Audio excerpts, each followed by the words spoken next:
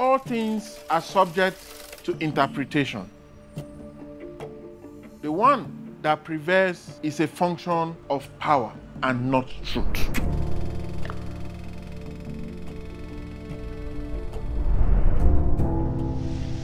The reason why the world has remained in this perpetual imbalance is because people feel they can use money and manipulate others.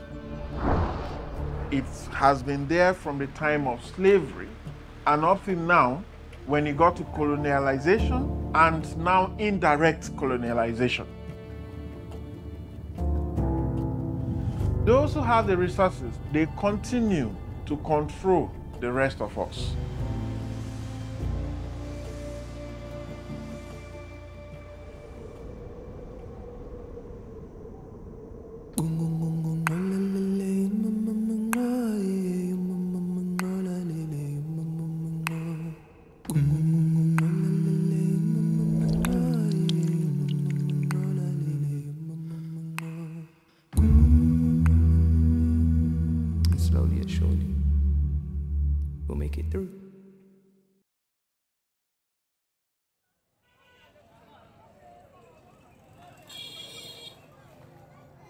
My name is Michael Terungwa David. I'm the founder and the executive director of the Global Initiative for Food Security and Ecosystem Preservation.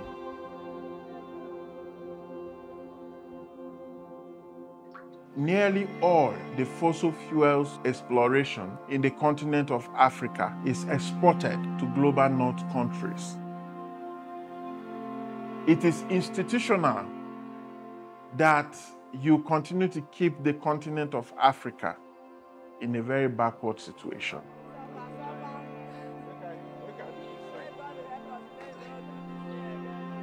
I grew up in a rural community, grew up farming, and now a lot of things have changed.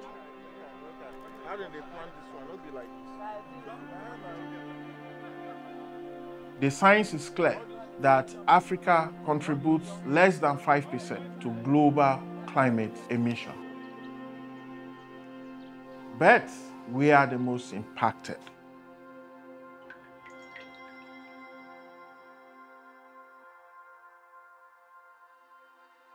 The energy situation in Nigeria is very poor. For a country of over 200 million people, we are producing within 5,000 megawatts of electricity. Definitely, it cannot power the country. A typical example is in the Niger Delta of Nigeria. That is the most polluted area in the world in terms of fossil fuels. Check out the lives of the people in the Niger Delta. Has it improved? No. I am not talking about the destruction on the biodiversity. Those environment cannot be rehabilitated.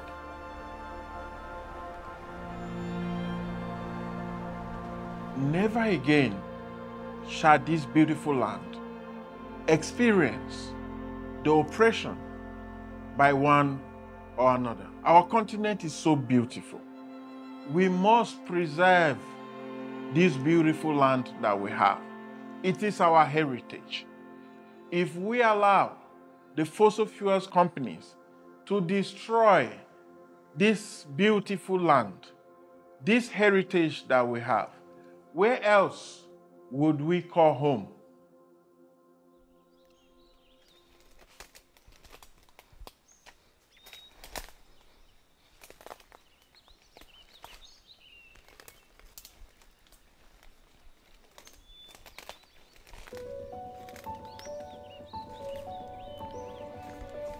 Imagine yourself walking through a forest trail from a long day at work. The wind blowing, the trees, you have a smooth transition across. You feel better because nature has healing powers. It has aesthetic values that cannot be paid for. Money cannot buy it.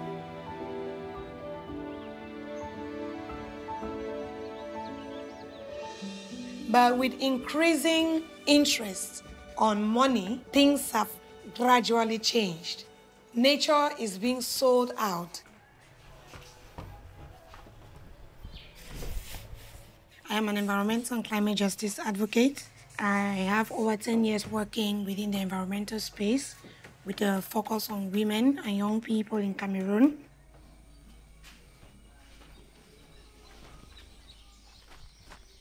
When I come to communities, I spend two weeks sometimes with them. It helps me to fit myself into their context and to get to understand what they go through and have discussions with them.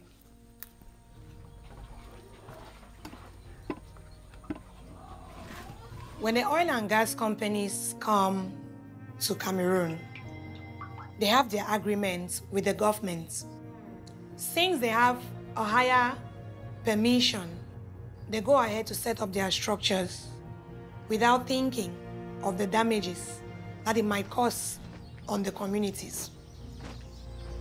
And this has affected crop production, it has affected water, and it has also affected health of community members. One cause some one year, some night, we just hear something explode.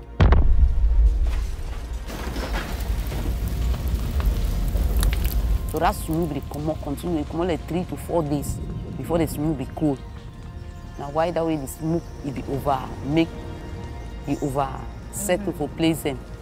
So when rain one come, it will come with strong, strong breeze, and then it will destroy within them. I remember mommy tell me say man no come under that rain no man no come under that. Yes, not true. Na so e dey true for we for here. That time they say that rain before so it will get sick.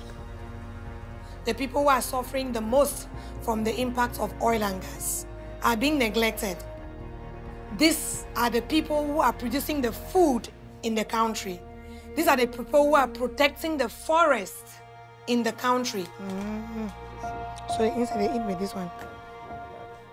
We need justice.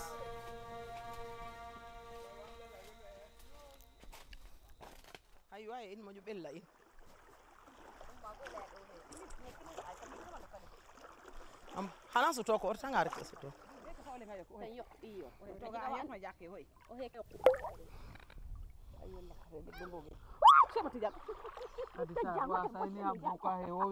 ndeka ñak fayda On compte près de 200 îlots dans le delta du Salou. Et dans chaque îlot, il y a des groupements de femmes et d'hommes qui ont préservé leur environnement jusque-là.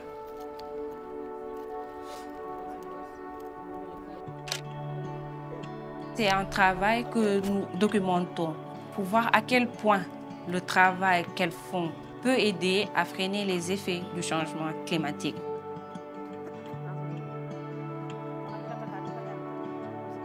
Tu as vu l'avancement de la mer? Oui. Tu as vu? Ça, c'était une zone cul- cultivable. Cultivable, ok. On faisait la riziculture ici. Tout selon. C'était des rizières. Jusqu'ici. Ok. Et tu as vu, Ouais. avec l'avancement, le changement climatique. On a perdu des terres. Notre zone, on a 45% de terres salées actuellement. Ouais, on a 45% de terres salées. Je peux dire que les femmes ont perdu peut-être leur cote côté agriculture. Au sein de l'ONG Lumière Synergie pour le développement, je suis chargée de la communication et du plaidoyer.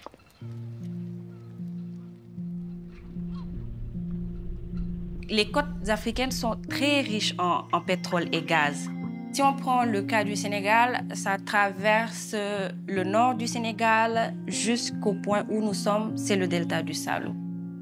On entend dire que le Sénégal est, riche en pétrole maintenant. La communication qui est faite autour de cela, c'est que le pays va se développer, les communautés vont devenir riches. Et quand du jour au lendemain, on a des projets implantés par des gouvernements et des compagnies qui viennent pour détruire euh, toutes ces ressources naturelles euh, d'une importance capitale, ils se sentent exclus, leur travail est, gâché par, euh, par tout cela sans qu'ils aient leur mot à dire. Euh, voilà, c'est ça le problème qui naît. Parce que la première chose que le gouvernement a y faire, venait devant la population pour parler avec les populations impactées. Euh, vraiment, on n'a pas fait ça. Ils ne sont pas venus. On, nous, sont- nous ne sommes pas venus au village Oui. pour euh, parler avec les gens. Et ils ne prennent pas le fait que vous ayez des craintes par rapport à. Nous avons des craintes parce qu'on eux, a vu. ils ne sont pas venus en parler avec Non, non, non, non. Mais nous avons des difficultés tellement que s'il y a une seule faille sur le pétrole, nous avons des problèmes. Parce qu'on n'est plus, la mer n'aura plus de poissons, ni de huîtres, de moules. Ça va impacter nos activités.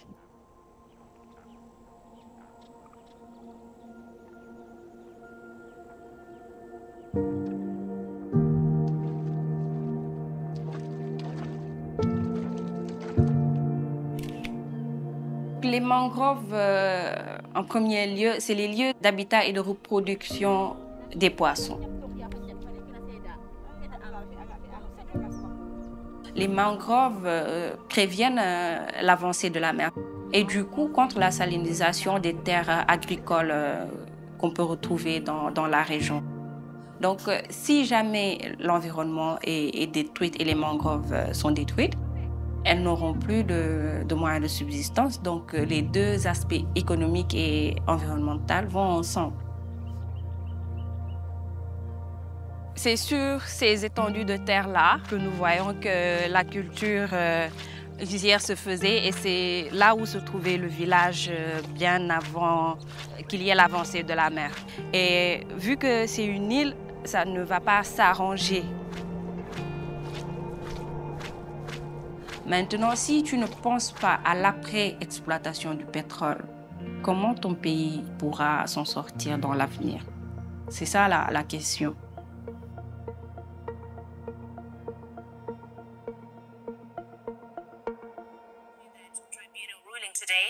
Over to Raya Famau Ahmed. She's an activist from the organization Sauti ya Wanawake. That would be Swahili for the voice of the women. Raya has been at the forefront of her organization's campaign against the building of that coal plant in Lamu. She joins me now from Nairobi. What do you feel about the outcome? Of course, this is your home that was being discussed. Ah, I'm feeling very happy, very happy. I feel like flying. I feel like crying. I feel like I feel happy. I feel happy. One of the things that we wanted is uh, to the the, yeah, the the license to be cancelled, and at least uh, we, we we won in that area. But we are happy that uh, at least the, the court has uh, give us its ears as the community of Lamu and Kenya in general. Right, and let's talk about your community, Raya. Lamu is a World Heritage Site, and there are things that our forefathers have been preserving for centuries. When they get into power, they tend to overuse the power that is bestowed on them, and they forget their people whom they are representing. This is the government that we were petitioning, and it was the only first case here in Lamu where the community had came together, form a coalition of organizations, and uh, they petitioned the government. So of course people were scared, but uh, we felt like we need to help the people, and the government has to stop this project because they wanted to build the coal power plant uh, nearby the sea. mpaka zile patterns. My name's uh, Raya Famau Ahmed, and I'm the executive director and founder of Lamu Women Alliance.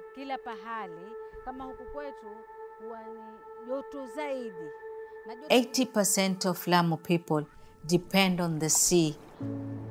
It is the main source of income to a lot of Lamu people. And when you are saying that you want to implement a project that is very destructive, that is going to pour harmful and poisonous substances, as Lamu people, we really said no for that. If they are to bring uh, development, then they need to bring sustainable development. We don't want them to bring projects that will displace people, that will cause harm to the people.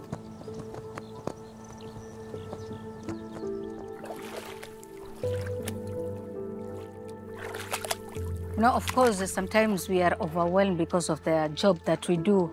The community work is not that simple. So when we feel that uh, we have taken a lot in our brains, we are stressed, we just go to the seafront and you look at the ocean. And this process really heals what's going on on your mind.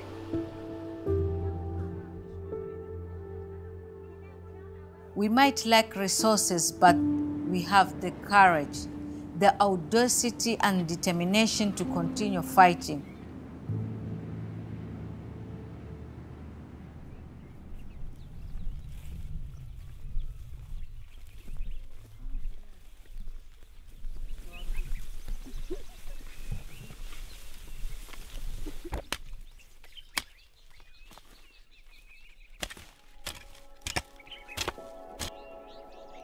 My country, Uganda, it is enriched with a lot of natural resources.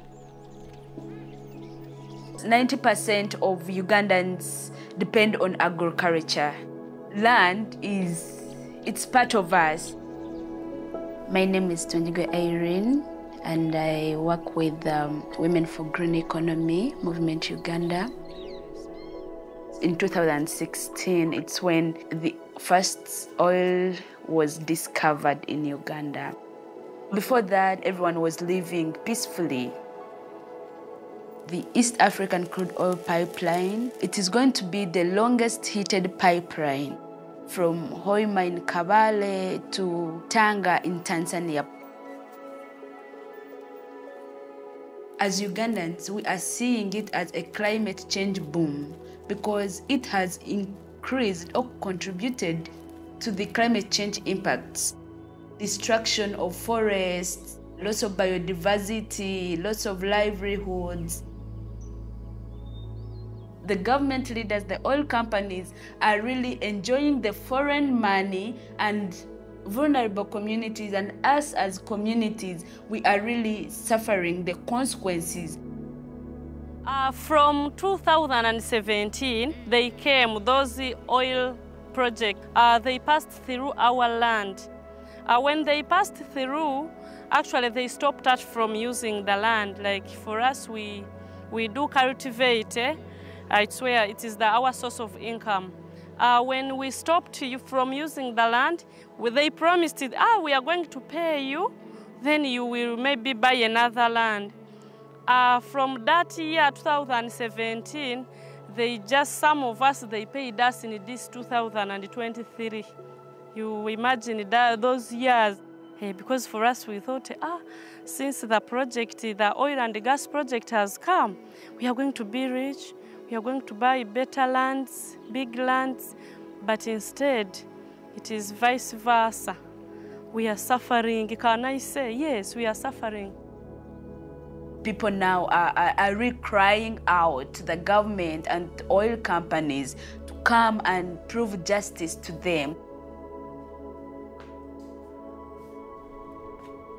It really pains me to find out that uh, the developed countries are really discussing the issues of Africans.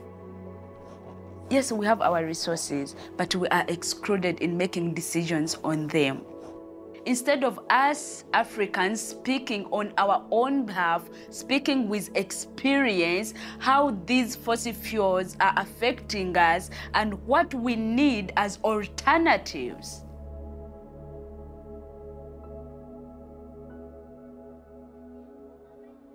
make una no dey cut down all the trees wey dey una farm. Una dey hear? You know say before this place na real forest abi uh -huh, and better better animal as rain they change una too go know how this community has large deposits of coal and there was coal mining in this community in the past two years. We mobilized the communities to let them understand the impact of coal mining on their land. These women stood to their right and they were able to halt the coal mining in the community. When I started, there were 10 women, and now there are 80. So that's big change. The women, they know how to organize themselves. In many of the communities that I work, you may not have men association, but you will always find women association, women organizations. They are not doing it for the benefit of a few, like some of the men do. With that quality and what they do, they are able to protect the environment, they are able to start small businesses, empower their children through school, and keep on passing that very important knowledge.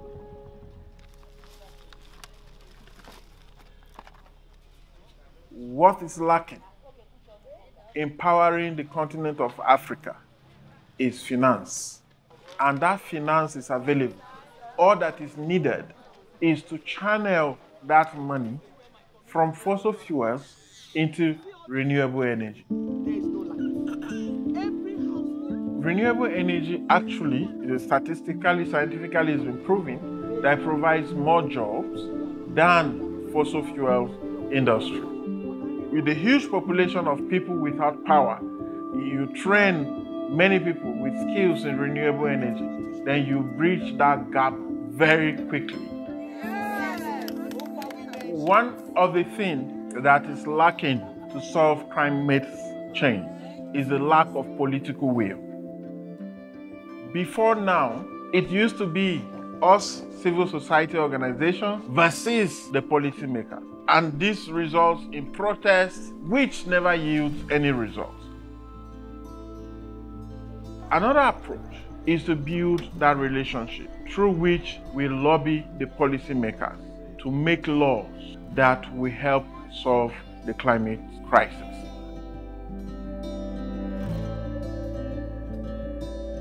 I want to go far, and that is why I'm working with other activists to ensure that we keep the call for climate justice in Africa and will continue pushing as long as it takes. We must get justice. For him to wake up.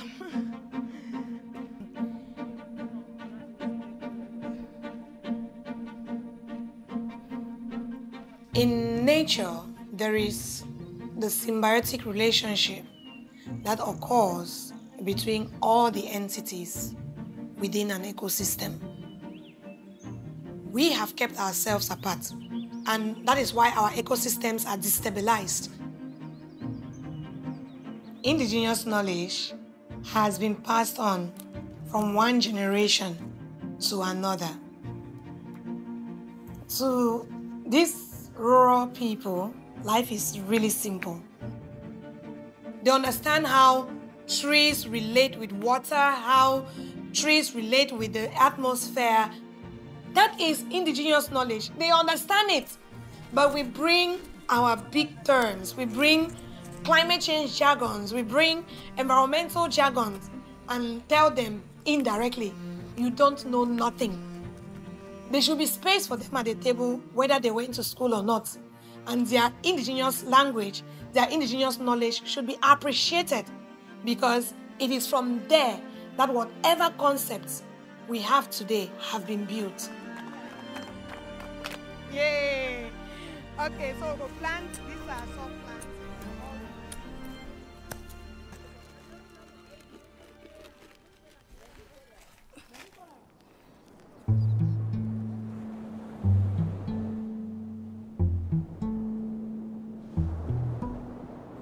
Since the 1880s, when Africa was experiencing a lot of colonization, we have grown and we thought we are now in post-colonialism period within Africa. Unfortunately, we are still colonized. This is affecting the way we live. It is even affecting the way we think and the decisions we make because our decisions are no longer ours. We have to make decisions that are favorable to the Western world. We cannot live under this form of slavery, mental slavery, in a modern time. Finance from fossil fuels can be directed and should be directed to solving African problems. Young people within Africa will be able to have African-led solutions to problems within our environment. And this is possible if we give opportunities for young people to identify the uniqueness in African knowledge, the uniqueness in indigenous knowledge, and the beauty in innovation, and also create opportunities for themselves and other young people within the African terrain.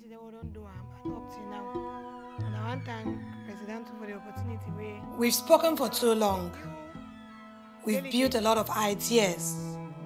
We have a lot of things stuck up in our heads, but we've not taken enough action. That is why we are all called to use our hands and our hearts to engage in our communities, to engage with nature, to take action, and to make sure we are not just talkers, but action takers.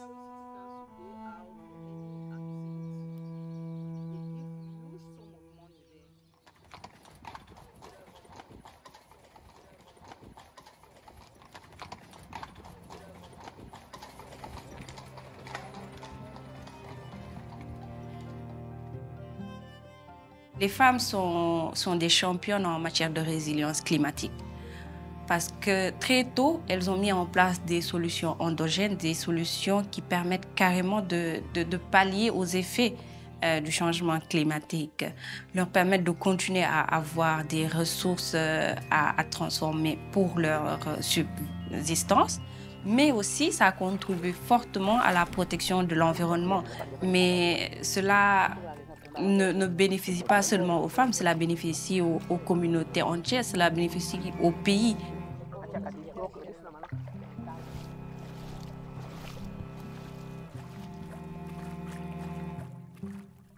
C'est des femmes fortes, c'est des femmes leaders, elles représentent quelque chose, elles font quelque chose pour leur communauté. Et le fait d'un seul coup de me retrouver dans cet environnement-là, ça m'a, c'est une prise de conscience personnelle pour moi. Être en contact des communautés, euh, les appuyer, vraiment les accompagner à, s'affirmer quand il est question de, de combat pour le respect de leurs droits. Quand il y a un problème au sein de la communauté, la plupart du temps, nous, on vient, on les trouve en train de chercher des solutions. S'il y a une marée noire, qu'est-ce qu'on va faire? Où on va aller? Il faut essayer de voir maintenant ces communautés-là, comment ils voient le développement, eux. On ne peut pas juste faire du copier-coller, on ne peut pas retranscrire le modèle de développement étranger en Afrique. Ça ne marche pas. Depuis euh, l'indépendance euh, des pays africains, ça n'a pas marché. C'est toute l'Afrique qui souffre de ces, projets-là. Donc il est temps d'arrêter cela, il est temps vraiment de repenser le modèle de développement africain. Et cela exclut le financement des énergies fossiles et cela doit passer par une transition énergétique juste et équitable.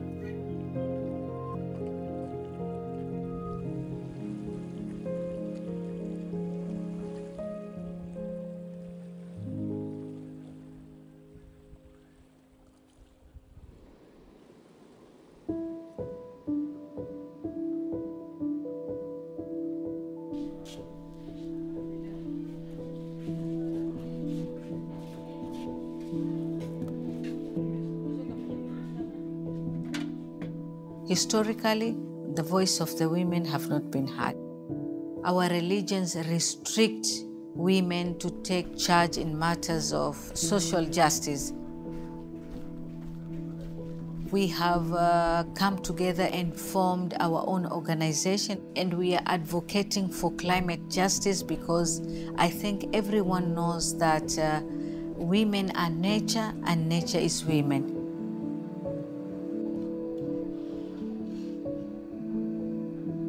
I've invited 60 women to come here and talk about climate issues. It is important to do these meetings because uh, it's an avenue of uh, sharing information, learning, and also showcasing what others are doing. When you bring women together, they learn so that they can fully participate and make informed decisions.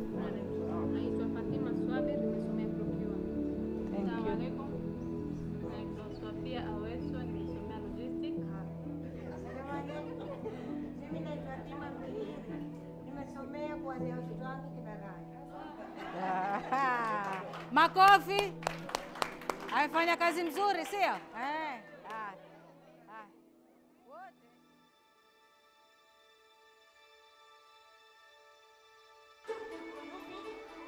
We are at a place called Lamu Polytechnic. This is a village polytechnic where our youth come here to, uh, to learn about uh, skills of doing business.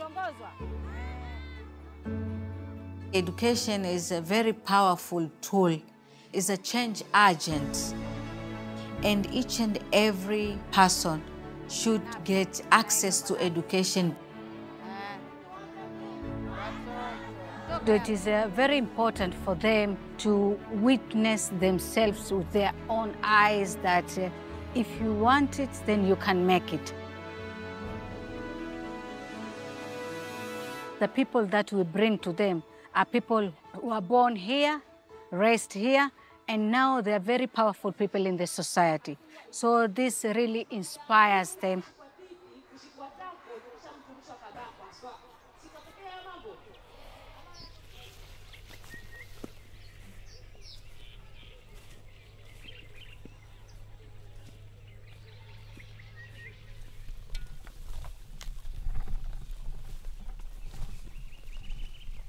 catching up with the situation, it is really so tiresome um, when you are doing it alone as a woman. We made sure that they come together as a corrective, they come together as a movement. They cannot fight this battle alone. They have a lot of groups of women within the oil affected communities so that they share as women, they share struggles, and at the same time, they share the strategies on how to overcome these challenges. We train women to know that um, they have a voice, they know their environmental and land rights. My hope is to really empower them to remain strong and to give them skills to start up their environmental friendly businesses that can really empower them financially. And empowering a woman financially doesn't mean that you are empowering only a woman, you are empowering the community, you are empowering the country at large. Whether we speak and speak and speak, we are not going to gain anything. All these years we have been making policies, but they are not being implemented. What I really want to see now is actions. This is the time for us as Africans to really transit uh, from the fossil fuels economy uh, to regenerative economy. What do I mean here? Regenerative economy is where man, land, people live together happily. I'm very optimistic as Africans in solidarity, we can achieve the generation of regenerating economy we want.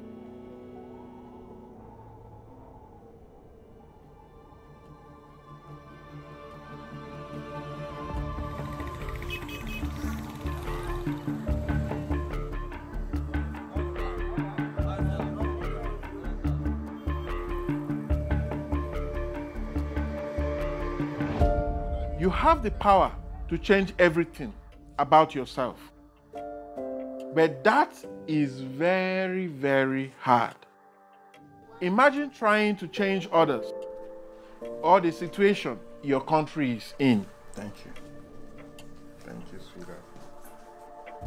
Never go backward. Attempt and do it with all that you have. When you start to develop empathy and imagination, the whole world opens for you.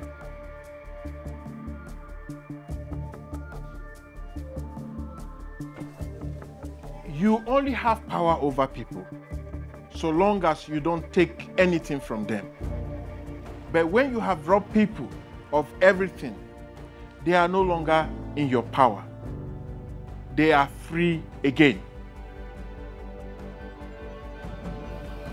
La société civile doit être écoutée. Les communautés avant le profit. Power is not a blessing in itself, except when it is used to protect the vulnerable. Power has only one duty to secure the social welfare of the people. Truth is powerful and it prevails. We must end the fossil fuel era. Power to the people. The only way to predict the future is to have the power to shape it.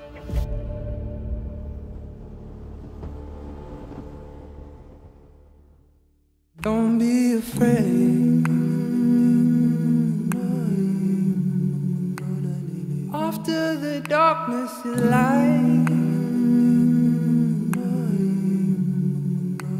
So don't